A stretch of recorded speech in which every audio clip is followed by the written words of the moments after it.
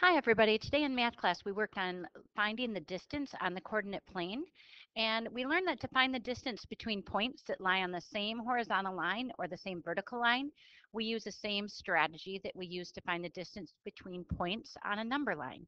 So let's go ahead and do these four examples. A Couple things we have to focus in on. Each of the points we have to decide if they land on a vertical or a horizontal line and if they do, we need to find the length of the line segment that joins the two points. And if not, we have to be able to explain how we know the points are not on the same horizontal or vertical line. So we'll go ahead and we'll start with letter A. We have two coordinates, 0, negative 2, and 0, 9. Right away, I'm looking and I can see that the x coordinate is both 0. So if the x-coordinate is both zero, that means that it has to be a vertical line because it doesn't move to the left or right at all. It stays on zero. So from here, I can see that 0, negative 2 would go down 2, and 0, 9 would go up to 9. So when we're looking at it and you make a quick one, I can see that this is the absolute value is just 2 away from 0. And when I look at the other, here, a real quick look, it's 9 units away from 0.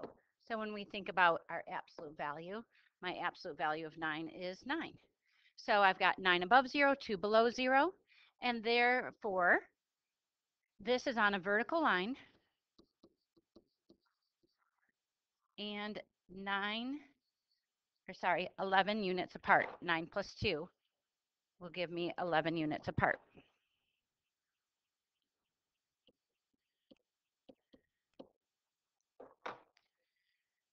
So the next one, I have 11, 4, and 2, 11. The first thing I'm going to do is look at my coordinates. And here, the x coordinates, one's an 11, one's a 2. So the, they, that's not the same. Now I'm going to look at my y coordinate. There's a 4 and 11. So in this case, neither the x or the y coordinate are the same. And if the points do not are, are not the same, they will not lie on the same horizontal or vertical line because they don't share a common x or y coordinate.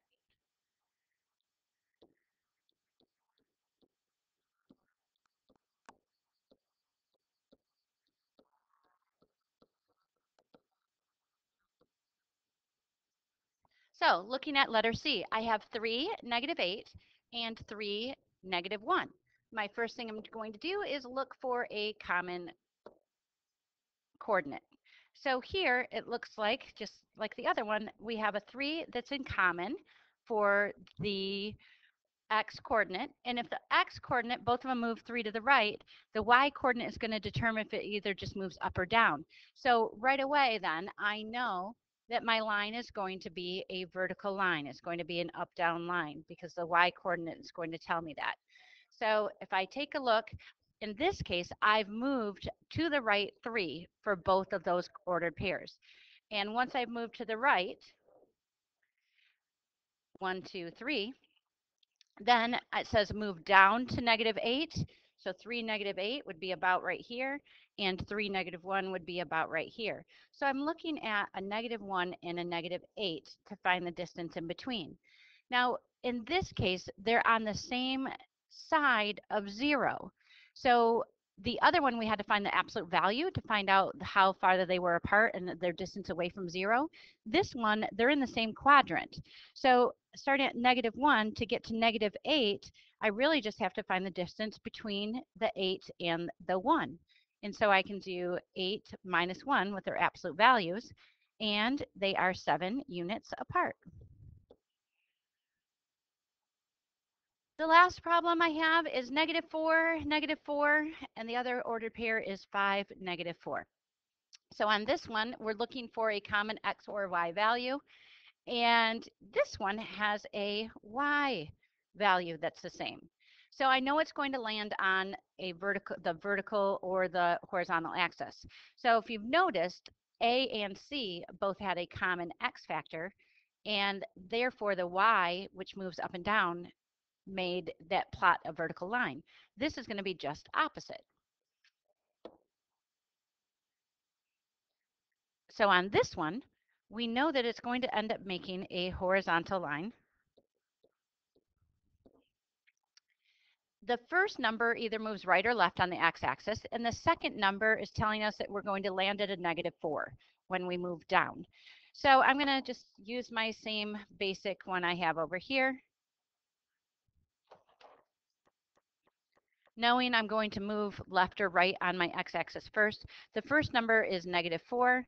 So if I move over negative 4, 1, 2, 3, 4, negative 4 would be here, and then from negative 4 I'd go down negative 4, so about right here. The second number, I move to the right 5, or the second ordered pair, move to the right 5, and then down 4. So they're 4 below 0. Each of them are 4 below 0. And I have to find the distance between these two points on that number line, that horizontal line. Well, what do I know? I know that this was at negative 4, negative 4. And I know that this one is 5, negative 4. So we're looking at the absolute value. How far is this away from 0? It is 5 units from 0. How far is this one away from 0 in the negatives? It went negative 4, so the absolute value is 4. So to get the total distance of the line, I have 4 plus 5, which means I have a total of 9 units for that line segment. So I hope these examples help you when you're doing some practice. And just remember, make a difference today.